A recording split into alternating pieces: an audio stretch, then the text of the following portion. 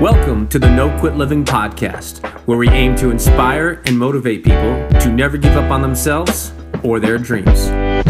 We will chat with highly successful people from all walks of life and discuss what motivates and drives them to successfully attack life head on and never give up. Welcome to episode number 82 of the No Quit Living podcast. I'm your host, Christopher J. Worth, and today's theme of the day is passion. Our quote of the day comes to us from Billie Joe Armstrong Our passion is our strength.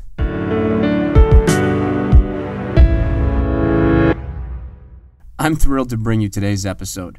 Our guest is a woman that is driven, excited, and clearly passionate when it comes to both bettering herself as well as others.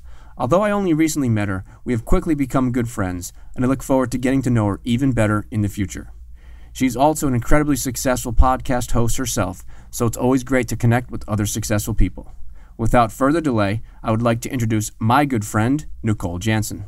Nicole, I'd like to welcome you to the No Quit Living podcast. Well, I'm excited to be here. Thanks, Christopher. I appreciate it. So, the first question we ask everybody is Are you ready to make it happen? Oh, yes. I think I was born ready. I believe so. I've known you for a short time, and I think you are ready and then some.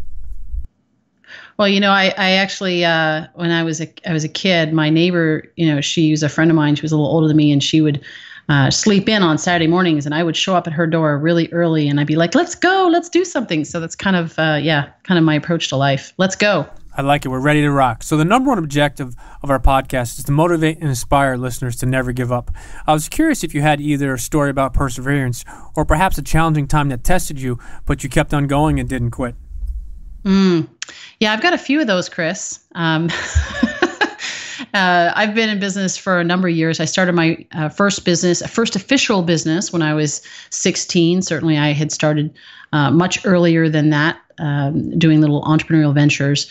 But um, one of the biggest challenges that I faced in business, uh, and I've had the pleasure, the opportunity to have challenges in relationships and health as well, and all those areas. But in business in particular, we uh, uh, I built my own business and I also helped my family. My parents uh, got uh, partnered with them and built a very successful business. By the time I was in my mid 20s, uh, we had built a, an eight figure business.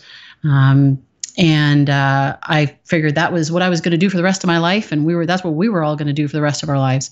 And uh, in a few short years, that business disappeared, almost all of it, and uh, through a series of events. And uh, I found myself wondering, what the heck am I going to do the rest of my life?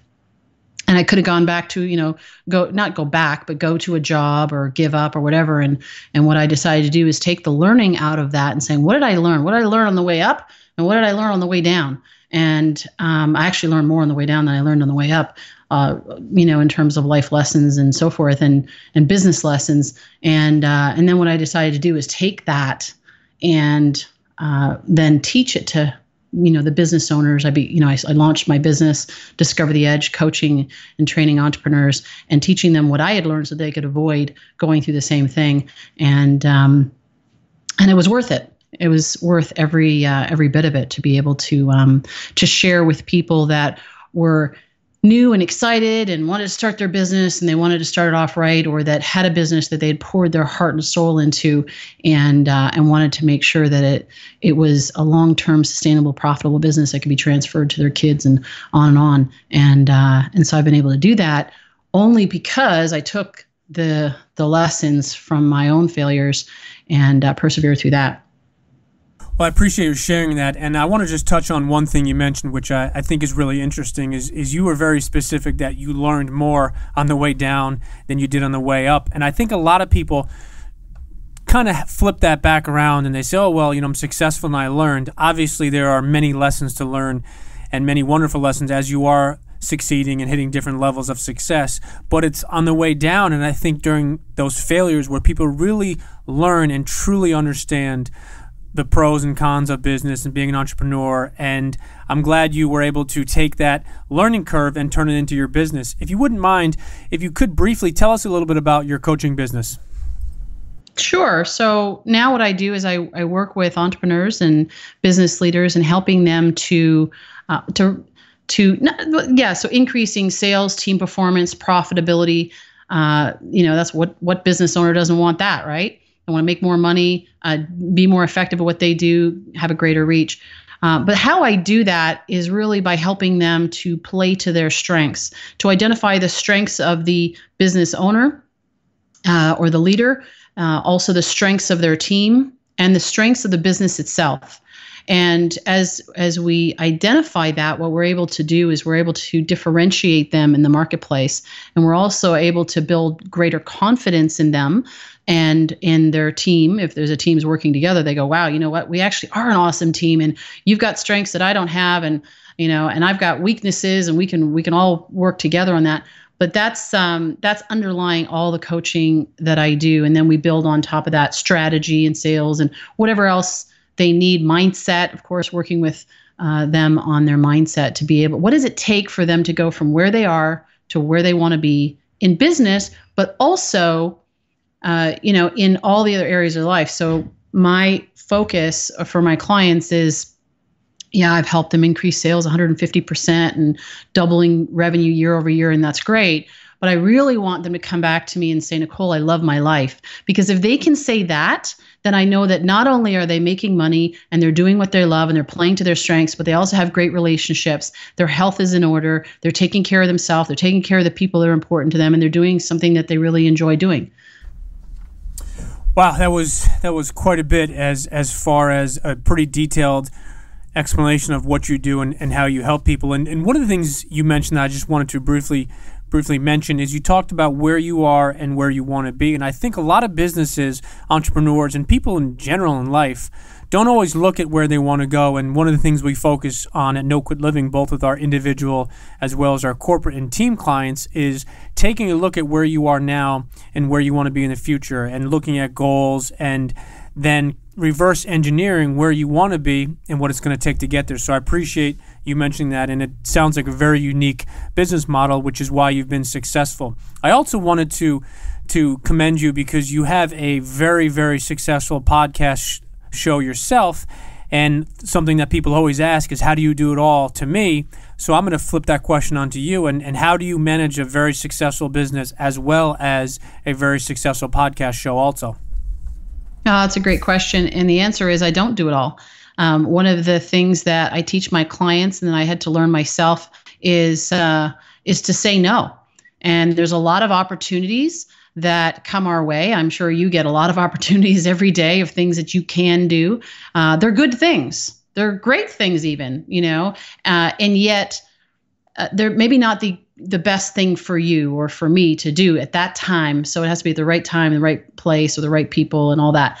And so, yeah, so the answer is I say no. I, I say no to things that don't move me towards my vision of what I'm looking to create. So I ask myself the question does this move me closer? Does this does this does this help me? Is this an accelerator for me in the direction that i'm going? Yes great. Let's let's really explore it. No it's a diversion. Then i i just i just i'm sorry you know what? It's a great opportunity. You're going to be great at it whatever you know uh, but this isn't the right opportunity for me. And it's tough because people will say you're crazy. You know you can make a gazillion dollars doing this. And i'm like probably you know, but not if I'm jumping all over the place and doing all these different things. And so, uh, whenever you choose to say yes to something, it means that you're going to have to say uh, no to other things to be able to have the space in your uh, schedule to actually do it. So you can stay focused, or as Gary Keller would say, you know, focus on the one thing.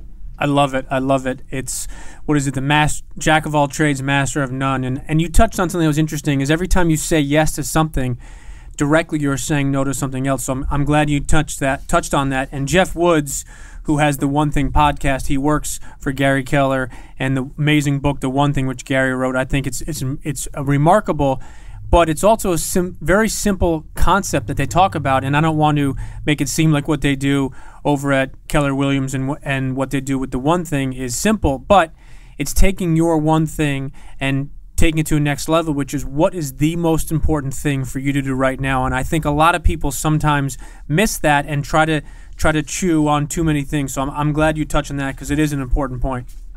Mm, that comes uh, back to what uh, Lou Holtz said um, once. I remember hearing him speak, and he said, W I N, what's important now?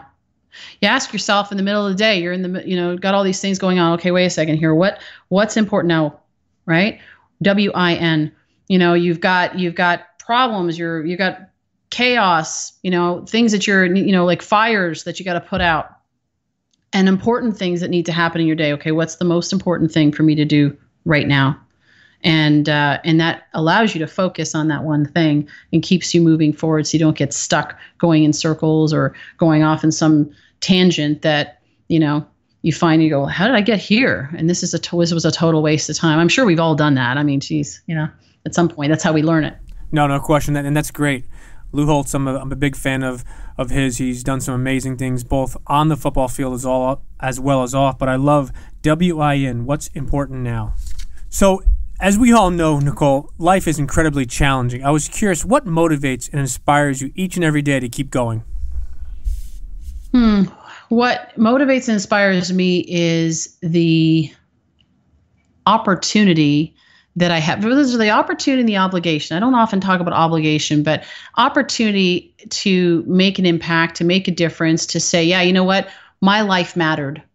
And uh, that motivates me. And anytime I feel down or I feel lazy, I don't want to do anything, it's because I've lost sight of my vision. And uh, there's a scripture in the Bible that says, without vision, the people perish. And it's true.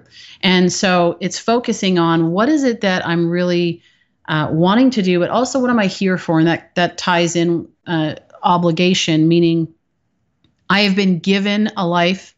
I only have one to my in I'm in my to, to my knowledge I only have one to work with uh, right now. And uh, you know, like some people say, you may come back. Okay, great. That's a that's a whole other story. But in this lifetime, I'm here. I have strengths and I have gifts that were given to me, and uh, my responsibility is to share those. And so that motivates me. So if I feel lazy and I go, yeah, I see that vision, but I don't want to work on it today, what will get me off my butt is realizing that I have an obligation because I was given these gifts and I need to share them with others and and that's what I'm here for to be a good steward of those. No, I, I, like that. And here's a different question for you. If you had to define yourself in one word, what would that one word be? Oh, that's a great question. The first one that came to mind was passion, um, drive, and I've and I've been often told that I'm quite tenacious. so there's three. but they're all pretty similar. I like it. If any of our future guests don't have any words, I will give them one of the three that you gave. There you go. So I wanted to ask if there's anything exciting that you're working on or about to possibly release that you'd like to share or tell our listeners about.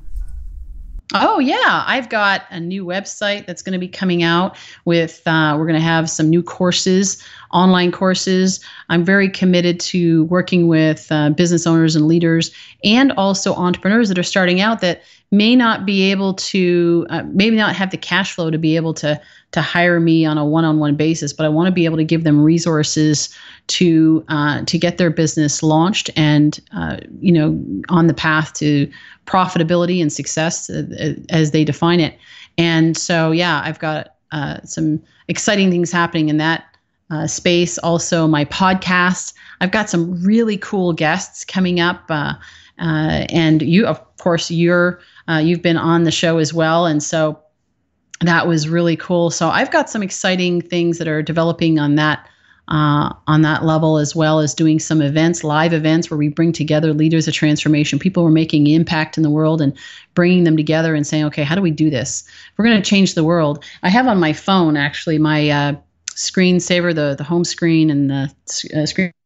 My screensaver actually says you can change the world, and um, uh, that reminds me that I can. I can change the world. You can change the world. One person can change the world. And so, um, my goal is to be able to bring together people that are making an impact, so that we can work together. Imagine if if we're all committed to making an impact and we work together on it, how much more we can achieve, and uh, how we can transform the world. So, I'm working on some things that will allow that to happen and facilitate that. That sounds awesome. And if you need any other speakers or help or anything, I would love to to get involved in, in some capacity because one of the things I'm passionate about is the whole word collaboration. And I think individually, many people are strong, but collectively people are unstoppable. So I think what you're doing and, and how you're doing is, is awesome. And there's definitely huge opportunities in many ways for what you've talked about. And I'm excited for your for your new website, some of your courses. And you also mentioned something which hit home a little bit to me was is the price point that some people can't afford coaching and you've you've allowed it to be not only affordable but in some ways through your courses and things you give people the option to to have some of that coaching. And that's something that I'm passionate about too because I think a lot of people don't realize that you know it's it costs money for a new venture or for an entrepreneur and not that people shouldn't make money as coaches and things but I think there's an opportunity to help a lot of those companies along the way and and I believe in karma and if you go out of your way to help people as they're getting up on the up and up the flip side is I believe at the at after that point not only will they be able to return the favor for you but possibly for somebody else and one of the things we talk about almost in every show is the paid for mentality is is if you can help someone else get to there where they want to go, then I think it comes back to you directly and indirectly tenfold. Oh, absolutely. You know what? I started my business at 16 years old. I didn't really have, uh, you know, a war chest set aside or, uh, you know, I was starting off from scratch with an idea. I just knew I wanted to be in business. I didn't even know what I was going to sell. I just knew I wanted to be in business for myself. And so, you know, people helped me along the way. They encouraged me, they offered me input, mentorship. And, you know, I, I wouldn't be where I am today without that. And uh, and so that's why I appreciate it because I started very grassroots. I didn't have you know hundreds of thousands of dollars to say, okay, well, you know, we're going to start a business. I'm ready to go, which is awesome if you have it, fantastic but that was not my experience. And so, um, you know, I appreciate where people are uh, stepping out on faith. They're putting in all their savings, maybe stepping out of a job. Uh, you know, maybe they've got a family, maybe they're a single mom, and, you know, they want to make a go of it. And I believe that every single person is an entrepreneur. Uh, by by nature, we are entrepreneurs because we're creators. And I believe we're created in the image of God. God's a creator. We're creators. And the question isn't are we creative, but how do we create? And uh, and so I want to encourage that, and I want to encourage people to, like I talked about before, play to their strengths, and then turn it into a business where they can do what they love and what they're great at all the time and make money at it. And so if they need a little help in the beginning to get that going, well then so be it. The key is though, the key with that is it's not so much um, the money what it is is for them to they got to have stake in the game they got to be committed to you know to doing it because it doesn't matter how cheap the program is or how expensive the program is you know and you work with clients it doesn't matter or you have your own uh, coaches yourself it's really about how committed you are to the outcome and to your success and uh, that speaks to your no quit living i mean you got to you got to be committed to not giving up and learning what you need to learn and if you don't know it, well, don't worry about it. You can figure it out. Believe in yourself enough to know that you're you're smart enough to figure out what you need to know in order to make it work. And if that's a course, if that's coaching, if that's reading a book, if that's going to a seminar, whatever that whatever that is. No, I, I like that, and, and and based on that, putting in the work and not not giving up and, and believing. It reminds me of a very famous quote by Oprah Winfrey, which is do what you have to do until you can do what you want to do and that's something that's something that I believe in, and especially in entrepreneurship, but also in different areas of life, personal development, becoming the best version of yourself, whether it's a spouse, a significant other, a parent, is is you do what you have to do now so you can enjoy it later on. So speaking of quotes, I wanted to ask, do you have a favorite quote? Oh, I've got tons of them. I love I love quotes. One of the quotes that's on my uh, on my website is um, by Mother Teresa. It says, I can do what you can't do, and you can do what I can't do, but together we can do great things. And uh, that's one of my favorite quotes and philosophies. That's a, that's a great quote. And as many of our listeners know, I'm a big sports guy and a former college coach and college athlete. And, and to me, it's all about the team component and why I value and like watching and reading about successful teams is not the individual perspective and not the amazing coach, but it's the teams that can truly come together and take best players or best skilled players that do different things differently. Individually, they're they're very talented, but collectively, you add all those things together and, and they're unstoppable. And it's the same thing in business. You take a company that's unbelievably successful, and you have people that are amazing at in the accounting world amazing in the advertising, amazing in the, the department that creates the products and services. So I, I'm glad you touched on that. That's just that's an amazing quote. Well, and the thing with that is, is in school we were taught to you know to do it all on our own, right? We weren't you know you didn't lean over and see how somebody else was answering a question on a test. You know that that was called cheating.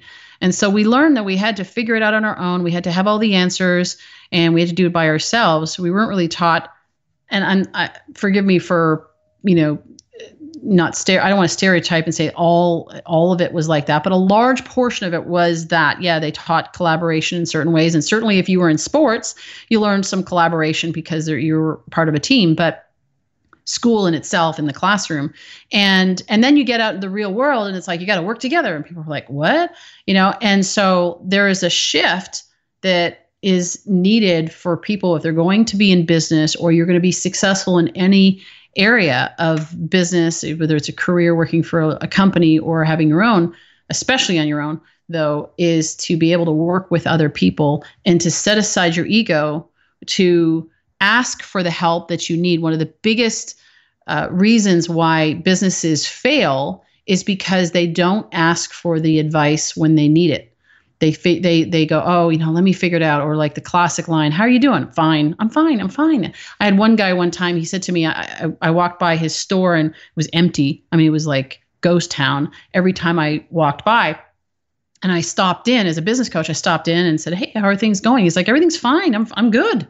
Right. Three months later, it was shut down, and I'm like, define fine for me, because I'm not clear.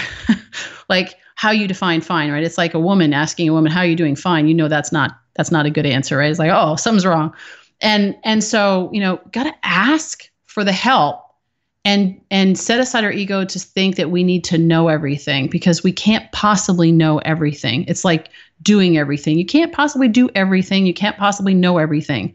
So you know, get the help. Work together. My goodness, let's work together. It's also more fun when you work with other people. No, I could not agree more. It, it's it's more fun, and you get to share the successes with others as opposed to sit on a pedestal by yourself. Yeah, yeah, exactly. So, if you could go back and give the twenty-year-old version of yourself one piece of advice, what would that be? the twenty-year-old person thought that you know I was invincible and thought that uh, I was going to be a you know gazillionaire and two weeks. No, but um, I had all these big dreams and goals. I would tell myself to trust myself and to trust my instincts more. I like it. Trust myself and trust my instincts more. Another spin is if you could have dinner with anyone, dead or alive, who would it be and why? Who would I want to have dinner with? Hmm.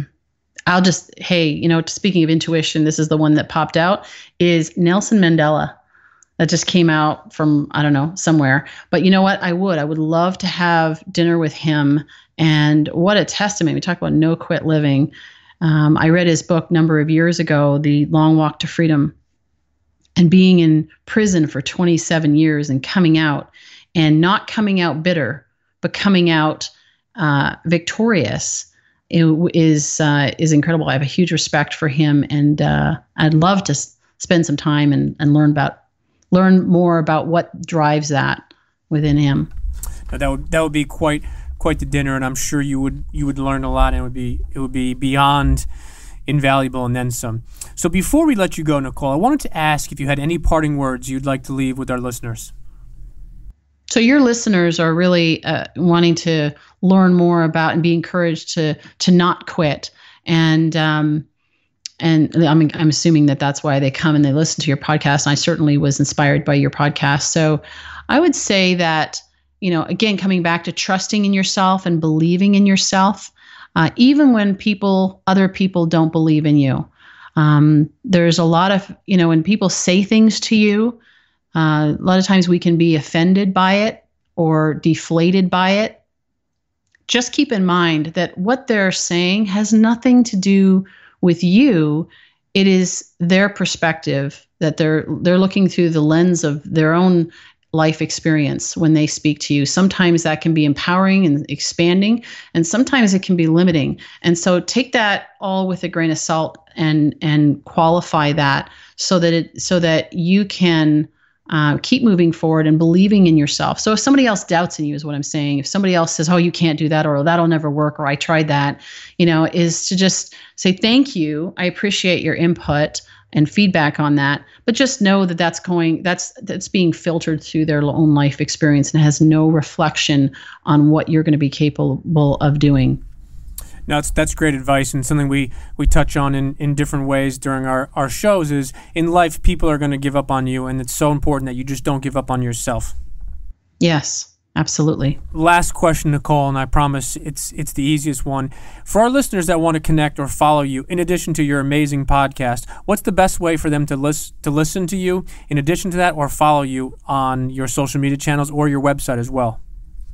Well, then go to discovertheedge.com that's my main website for my coaching and training and speaking. And then uh, Leaders of Transformation is the podcast. You can find us on iTunes, Stitcher, Google Play. Uh, I'm certainly all over Facebook, and you can find me there, Nicole Jansen. Um, I also have the, you know, the standard business pages and all that good stuff. So I love to connect. And if anybody has any questions or wants to unpack what we talked about here further, then they're certainly uh, welcome to reach out to me. They can reach out through my website. There's a contact page or through Facebook or whatever. I'm always very accessible and I answer all the messages myself and, and make sure I, I'm very responsive with that to help people to move forward and, and uh, do what they, uh, you know, fill, fulfill their vision.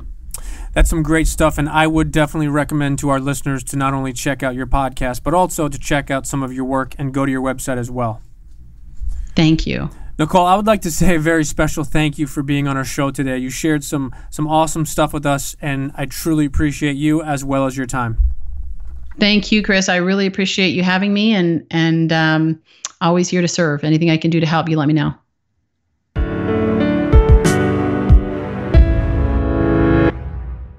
To sum up today's episode in our theme of the day, passion, it is easy to see that Nicole Jansen is passionate about her work. She shared some great nuggets with us today, and I know that I personally took a lot from today's episode. Nicole discussed something that Lou Holtz said, WIN, which stands for What's Important Now, a simple yet profound concept if you truly think about it. Nicole also mentioned how on her screensaver it says, You can change the world. Imagine if more people truly felt and thought that way. In her parting words, Nicole shared a few things that are near and dear to the No Quit family.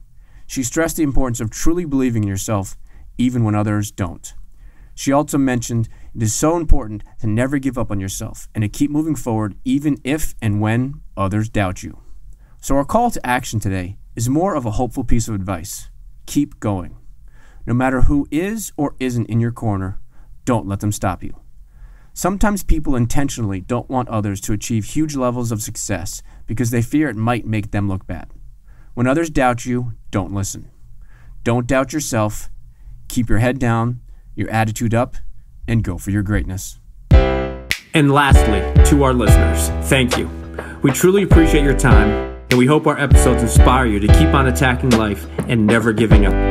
To quote Dr. Norman Vincent Peale, it's always too early to quit.